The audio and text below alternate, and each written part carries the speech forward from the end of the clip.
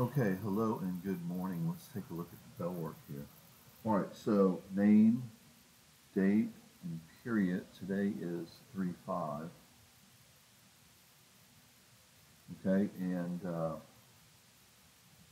this is week 9-3. Anyway, if you get 150 pads for 25.99, how much is the unit price. How much does one cost? Remember, money goes on top. So you're going to put the money on top. And then you get your calculator and you divide. So 25.99 divided by 150 gives you a unit price of 17.3 cents or 0.173, which is about 17.3. So it's about uh, 17 cents each, and that is the unit price. Okay? That way you can compare apples to apples and oranges to oranges. This one right here, you put the money on top, divide it by 2, and you cut it in half. I think it's $1.75, but let's check. 3.5 divided by 2 equals 1.75. So it's $1.75 each. What is unit price? Unit price is the cost for one. For one item. That way you can compare apples to apples and oranges to oranges. All right, let's move on. Today we're going to actually do proportion. Now look up here. Copy down this first one right here. The question is, do these form a proportion? And the only way you're going to know is if you divide each of them. So you're going to take 4 divided by 2, which is 2, and you're going to see if that's equal to 20 divided by 6. So 20 divided by 6 equals 3.33. So these are not the same, so this does not form a proportion. They have to be equal, write this down, equal, both of them, to be a proportion. Okay? So you divide it, and you divide it, and you see if they're equal. If not, you say no. So for number one, you say not a proportion. Okay? Let's go on here. Now let's copy down number seven and let's work it.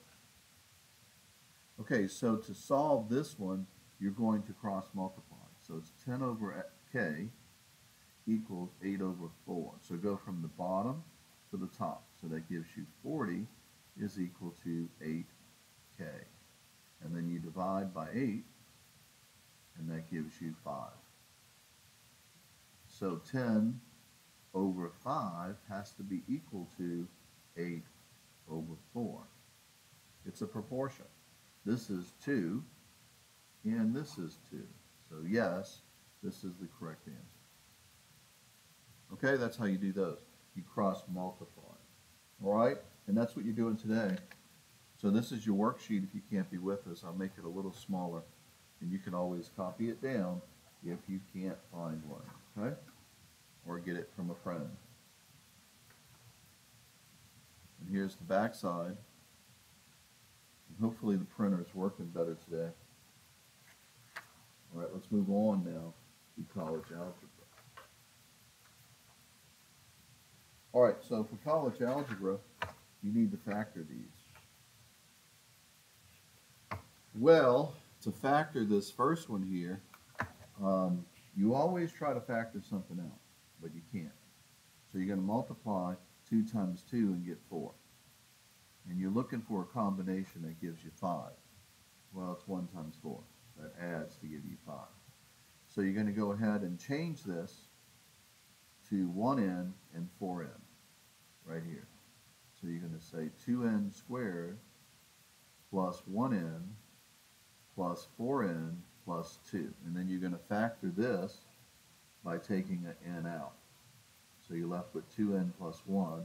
Here you're gonna take a two out, right here, and you're gonna be left with the same thing. And once you get the same thing, you take one of those out, and you're left with n plus two. And that's how you factor that, okay? All right, let's finish it up. Copy this one down. On this one right here, you may be able to factor it the way it is, but you gotta take out what they have in common. They all have a three. And if you fail to take that three out, you'll be wrong. So this is gonna be three k squared plus twenty-two k plus seven. Seven times three. Okay? You can't take anything else out. Seven times three is twenty-one, so you're gonna factor that to get this. So it's gotta be one times twenty-one is gonna add up to give you twenty-two. So you're gonna substitute these two in place of that one. And you're gonna work it the same way. So keep bringing that three down. So it's gonna be three k squared plus one k plus twenty-one k plus seven. Okay? Once you get to this point, you're gonna take out a k. So you're left with k times three k plus one. Here you're gonna take out a seven, and you're left with three k plus one. Then you're gonna take out a three k plus one, and you're left with k plus seven. But you can't forget that three on the outside. If you forget that three right there, it would be wrong. Okay, so remember factor first.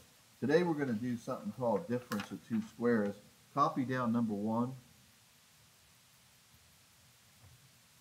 Okay, so to do the difference of two squares, what we're gonna do here is factor. And that might be a little too bright, maybe the lights are making it a little too bright, I don't know. In any event, difference of two squares has two terms. You see, what squared minus what squared? Well, one times one is one, that's a perfect square, and three times three is nine. So it's called the difference of two squares. So this is gonna be three x plus one and three x minus one. Okay, this one right here is gonna be, let me think, seven times seven, right? And this one's gonna be two times two. So it's gonna be two n plus seven and minus seven. And that's called the difference of two squares. Now, when you get down here, you might have to factor something out. See like this one here? You might have to take a three out of here. Think there's a three. So you would have to first factor out a three, I would imagine. And actually, I think you could probably take a six out, okay? And then use your calculator and finish it up. If you get stuck, let me know. Here's your worksheet for today. Make it a little smaller so you can see it. If you're at home and you need to copy it down, go ahead. It's here. And then the back side, I don't know that we're going to get to it, but the back side is here. And this is factoring completely. All right, have a good morning.